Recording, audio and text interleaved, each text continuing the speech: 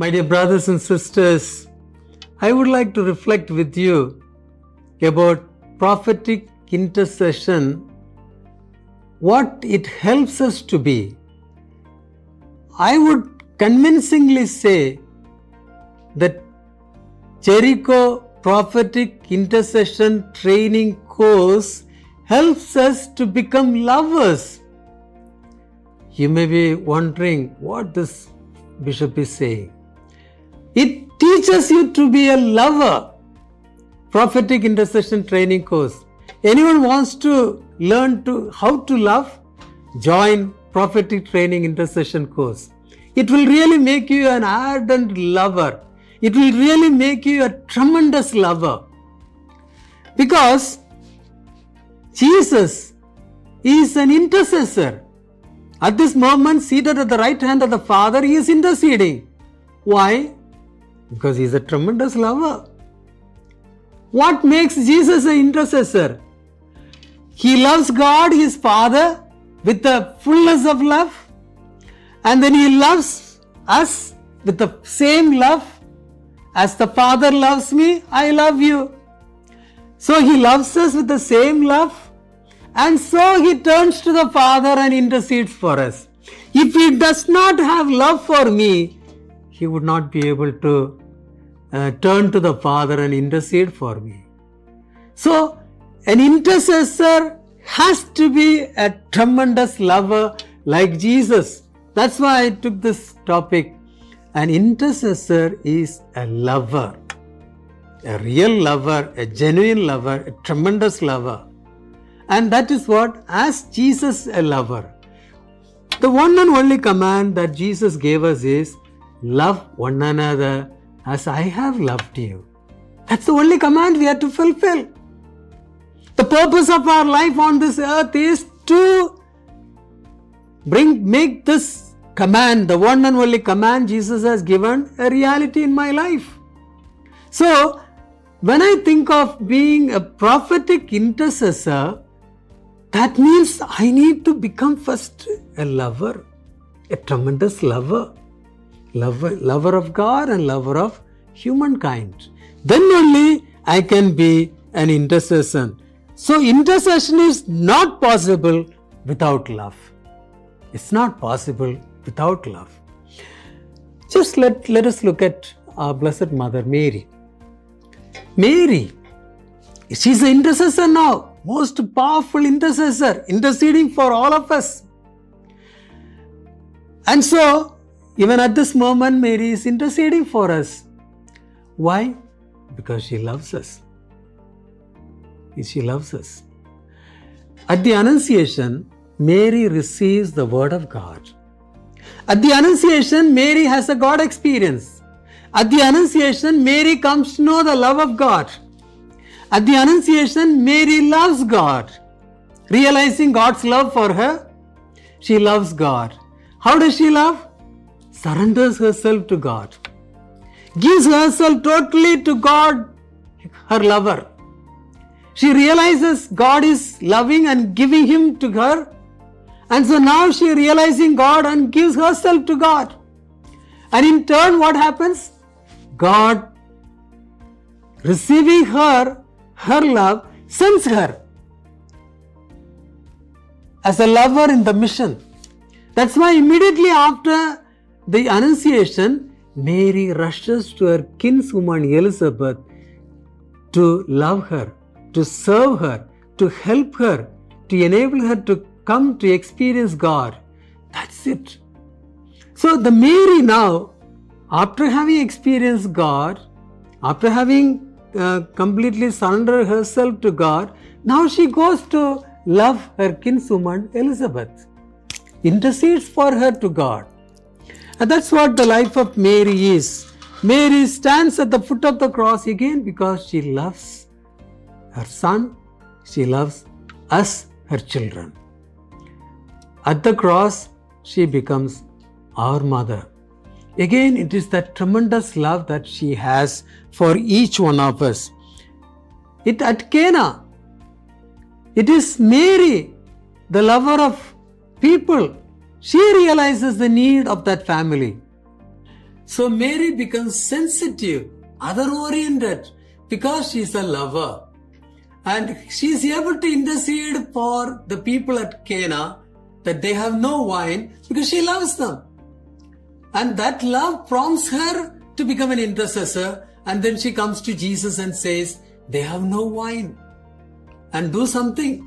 And then that love again makes her to trust in Jesus.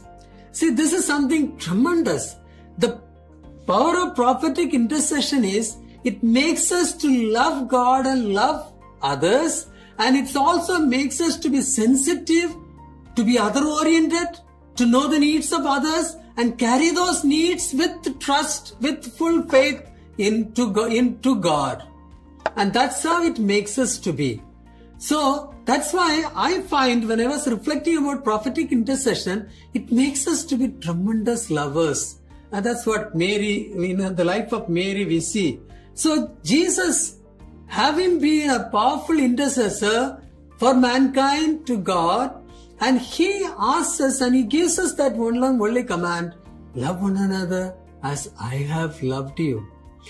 The beautiful example again is the uh, high priestly prayer of Jesus, chapter 17 of St. John, where Jesus loves his, the, loves mankind, loves his disciples, and he loves God, her fa- his father. And so he turns to the father and prays for his beloved. He says, I'm not praying for the world, but I am praying for these. So there is beautiful relationship of love. His relationship of love with his father and his relationship of love with each one of us for whom he uh, gives his life. That is the tremendous. The prophetic intercessor is one such. And so the prophetic intercession helps me to become a tremendous lover. Another thing, this love transforms. As a prophetic intercessor, when I love God and love others, it transforms me. It changes my attitude. It changes my perspectives. For example, uh, when I love God and when I love others as an intercessor, interceding for mankind, interceding for the world, interceding for the church, my perspective towards the world, my attitude towards the world, towards the church, towards the society, towards mankind, towards my neighbors, everything changes. I become docile. I become a person of understanding. Unless I understand, I cannot be an intercessor. So I understand the people. I understand their situation. I don't become judgmental. I don't be prejudiced. A prejudiced person cannot love, cannot intercede. A prejudiced person cannot uh, really become an intercessor. And that's why our, our attitude changes. Now, for example, a prophetic intercessor, a person of intercession, it's a lifestyle. Every moment he has to be interceding. You get into the bus, you start praying for all those who are in the bus, the driver, the conductor, and all the fellow passengers. You get into the train, you get into the flight, you do the same. You walk on the street, all those who come across on the road, on the street, you lift them in prayer. That's what a intercessor is. So, in other words, what I mean to say is, an intercessor becomes an universal lover. He loves everyone. He understands everyone. He has an educated heart to understand, not misunderstand. He understands, even if there is something wrong, something evil, something not up to the mark, he will understand and he will able to accept that. That's what the prophetic intercession. Otherwise, without this, he cannot be an intercessor. So when I get into, I don't look at people, oh, he's a rich man and so I am pleased to that person or he's well dressed, he's good looking. No, you go beyond all that. As a prophetic intercessor, as a universal lover, you go beyond all these human limitations and then you be a tremendous lover and that love urges you to turn to God and intercede for these people. St. Paul, you're beautiful. What, why does he say? The love of Christ urges me. Caritas Christi urget me. What does it mean? He, his love for God urges him to turn to the people, to be uh, docile to the people, to be understanding to the people, to uh, listen to the people, to instruct the people, to bring the people together. That's an expression of his love for the people, expression of his love for God, which is being translated into his love for the people. It is one and the same. Without my love for God, I cannot love the others. Without loving my brothers and sisters, I can't have a genuine, true love for God. These both are one and the same. That's why a prophetic intercessor has to be a lover of God and lover of people. With this only he can be a prophetic intercessor. Without having a genuine, a tremendous love for God and a genuine love for uh, our brothers and sisters, you cannot be a prophetic intercessor. And that's what we find. That's why our whole perspective will change. As a prophetic intercessor, the love takes over. You become a lover and then you look at every aspect, every person, every incident in with the light of love. The love of Christ urges me.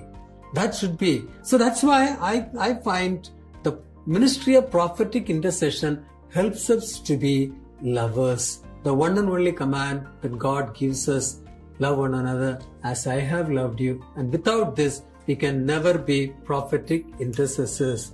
So be grateful to God that you're called to be a prophetic intercessor, which makes you to fulfill the one and only command of God love one another as I have loved you, and that makes you a tremendous lover. So, prophetic intercession makes us to be tremendous lovers like Jesus.